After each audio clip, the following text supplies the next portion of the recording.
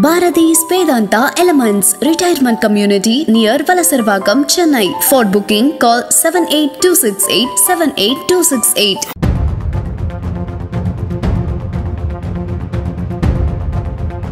அமெரிக்காவின் மசாச்சுசெட்ஸ் மாகாணத்தில் உள்ள அயர் மாவட்ட நீதிமன்றத்தின் நீதிபதியாக இந்திய வம்சாவளியைச் சேர்ந்த பெண் தேஜல் மேத்தா நியமிக்கப்பட்டுள்ளார். இந்திய வம்சாவளியைச் சேர்ந்த ஒருவர் அயர் மாவட்ட நீதிமன்றத்தின் நீதிபதியாக தேர்ந்தெடுக்கப்படுவது இதுவே முதல் முறை. மாவட்ட நீதிமன்ற தலைமை நீதிபதி ஸ்டாச்சி போற்றிய தேஜல் மேத்தாவுக்கு பதவி பிரமாணம் செய்து வைத்தார். பதவி ஏற்றபொழுது அவர் பேசுகையில் ஒரு வக்கீலாக இருந்தால் குறிப்பிட்ட கட்டத்தில் மட்டுமே பொதுமக்களுக்கு உதவ முடியும். அதுவே நீதிபதியாக இருக்கும் பொழுது பல்வேறு உதவிகளை செய்யலாம் என தெரிவித்தார். தங்கள் நாட்டின் பாதுகாப்பை கருதி அமெரிக்கா கனடா ஐரோப்பா உள்ளிட்ட பல நாடுகள் சீன செயலியான டிக்டாக்குக்கு தடை விதித்துள்ளன. உளவு வேலை பார்ப்பதிலும் எல்லை மீறி ஊடுருவதிலும் சீனா கில்லி என பல நாடுகள் அறிந்திருந்ததால் இந்த செயலியை தடை செய்துள்ளன. இந்த செயலி மூலம் அந்தந்த நாட்டு மக்களின் இடம் பொருள் மற்றும் இதர விவரங்களை சீனா ரகசியமாக தெரிந்து கொள்கிறது என்றும் இதனால் பாதுகாப்பிற்கு உத்தரவாதம் இல்லை என்றும் மேற்கண்ட நாடுகள் கவலை தெரிவித்துள்ளன. பிரிட்டன் பிரதமர் ரிஷி சுனக் அந்த நாட்டின் சட்டவிரோத நடவடிக்கைகளை தடுக்க பல்வேறு முயற்சிகளை மேற்கொண்டு வருகிறார். அந்த வகையில் தற்பொழுது சட்டவிரோதமாக சிறிய படகுகள் மூலமாக நாட்டில் நுழைய நினைப்பவர்களுக்கு கடுமையான தண்டனை விதிக்கப்படும் என்றும் பிரிட்டனில் தங்குவதே மிகவும் கடினமாக மாறிவிடும் என்றும் எச்சரித்துள்ளார். மேலும் இந்த அறிவிப்பை லேசாக எடுத்துக்கொள்ள வேண்டாம் என்றும் எச்சரிக்கை விடுத்துள்ளார். மியான்மரில் நடந்த இனப்படுகொலையின் காரணமாக பல்லாயிரக்கணக்கான ரோஹிங்யா முஸ்லிம்கள் பக்கத்து நாடான வங்காளதேசத்தில் அகதிகளாக தஞ்சம் புகுந்தனர் அவர்கள் அனைவரும் வங்காளதேசத்தின் தென்கிழக்கில் இருக்கும் காக்ஸ் பஜார் நகரில் உள்ள மிக பெரிய முகாமில் தங்க வைக்கப்பட்டுள்ளனர். இது உலகின் மிகப்பெரிய அகதிகள் முகாமாக விளங்குகிறது. இந்த அகதிகள் முகாமில் திடீரென தீ பிடித்தது. இதனால் பீதியடைந்த மக்கள் அலறி அடித்து வீடுகளை விட்டு ஓட்டம் பிடித்தனர். இந்த கோர தீ விபத்தில் முகாமில் இருந்த இரண்டாயிரத்திற்கும் மேற்பட்ட வீடுகள் எரிந்து நாசமாகின. தீ விபத்தில் வீடுகளை இழந்த பனிரெண்டாயிரத்திற்கும் மேற்பட்ட மக்கள் திறந்த வெளிகளில் தங்க வேண்டிய நிலைக்கு தள்ளப்பட்டுள்ளனர்.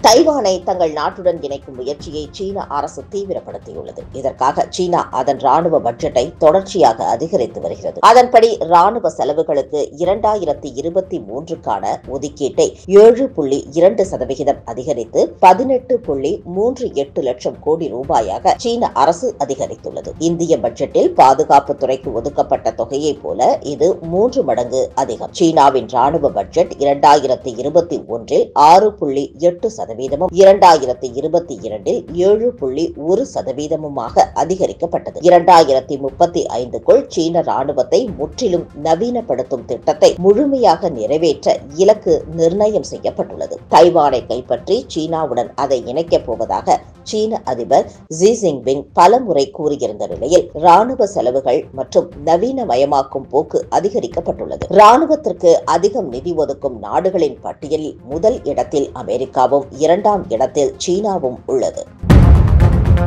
பக்கத்து நாடான பாகிஸ்தானும் இலங்கையைப் போல கடும் பொருளாதார நெருக்கடியை சந்தித்துள்ளது. இதனையடுத்து சர்வதேச நாணய நிதியத்திடம் அந்த நாடு நூறு கோடி ரூபாய் கடன் கேட்டுள்ளது. ஐஎம்எஃப்பின் பல்வேறு நிபந்தனைகளை நிறைவேற்ற அந்த நாடு முயற்சி செய்து வருகிறது. மேலும் தற்பொழுது சவுதி அரேபியாவிடம் இருநூறு கோடி ரூபாயும் எழுநூற்றி ஐம்பது கோடி ரூபாய் உலக வங்கியிடமும் கடனாக கேட்டுள்ளது. எனினும் பாகிஸ்தானின் தற்போதைய நிலவரத்தை கருத்தில் கொண்டு சவுதி அரேபியா கடன் கொடுக்க தயக்கம் காட்டுவதாக தெரியவந்துள்ளது.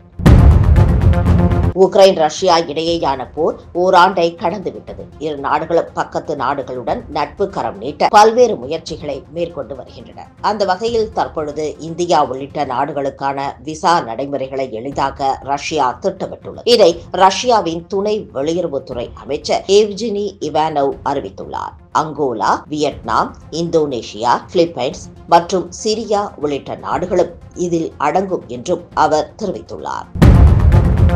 இந்தோனேஷியாவில் சில நாட்களாக இடைவிடாமல் மழை பெய்து வருவதால் வெளிப்புற தீவுகளில் கடுமையான நிலச்சரிவுகள் ஏற்பட்டுள்ளன. இதனால் பல வீடுகள் தரைமட்டமாகியுள்ளன. ரியாவு தீவில் நிலச்சரிவில் சிக்கி இதுவரை பதினோரு பேர் உயிரிழந்திருப்பதாக அதிகாரிகள் தெரிவித்துள்ளனர்.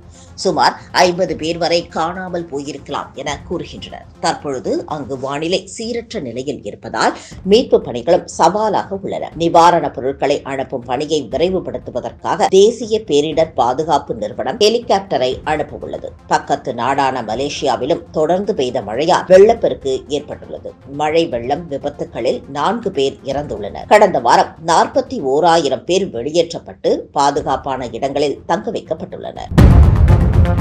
ஜப்பானில் இரண்டாயிரத்தி இருபத்தி இரண்டாம் ஆண்டில் பிறந்தவர்களை விட இறந்தவர்களின் எண்ணிக்கை இரண்டு மடங்காக இருக்கிறது. ஜப்பானில் பிறப்பு விகிதம் குறைந்து வருவதை அதிகரிக்காவிட்டால் ஜப்பானே காணாமல் போய்விடும் என்று அந்த நாட்டு பிரதமரின் ஆலோசகர் மசாகோ மோரி தெரிவித்துள்ளார். மேலும் மக்கள் தொகையை மேம்படுத்த குழந்தைகளை வளர்க்கும் தாய்மார்களுக்கு தேவையான உதவிகள் மற்றும் சலுகைகளை வழங்குவதில் அரசு கூடுதல் கவனம் செலுத்தும் என்றும் அவர் உறுதியளித்தார். பாகிஸ்தானில் கடந்த ஜனவரியில் பெஷாவர் நகரில் மசூதி ஒன்றின் மீது நடந்த தற்கொலைப்படை தாக்குதலில் போலீஸ் உயர் அதிகாரிகள் உள்பட நூற்றுக்கும் மேற்பட்டோர் கொல்லப்பட்டனர். இந்த நிலையில் அந்நாட்டில் கடந்த மாதத்தில் பயங்கரவாத தாக்குதல்கள் அதிகரித்துள்ளன என அறிக்கை வெளியாகியுள்ளது. இதன்படி கடந்த பிப்ரவரியில் ஐம்பத்தி எட்டு பயங்கரவாத தாக்குதல்கள் நடந்துள்ளன என்றும் இவற்றில் இருபத்தி ஏழு பொதுமக்கள் உள்பட மொத்தம் அறுபத்தி இரண்டு பேர் கொல்லப்பட்டுள்ளனர் என்றும் கூறப்பட்டுள்ளது.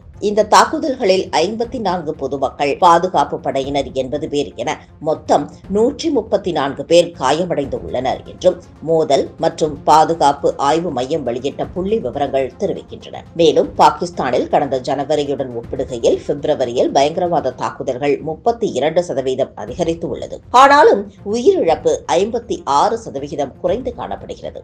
இதேபோன்று பாதுகாப்பு படையினரின் அதிரடி நடவடிக்கையால் பிப்ரவரியில் சந்தேகத்திற்கு உரிய எழுபத்தி ஐந்து பயங்கரவாதிகள் கைது செய்யப்பட்டனர் என அந்த அறிக்கை தெரிவிக்கிறது.